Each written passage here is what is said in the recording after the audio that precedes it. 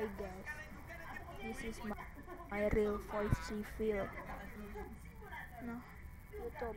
Can use see for because because and this is bug must fix YouTube. Please, please fix. And and thank you for watching and see you in the next video. Bye.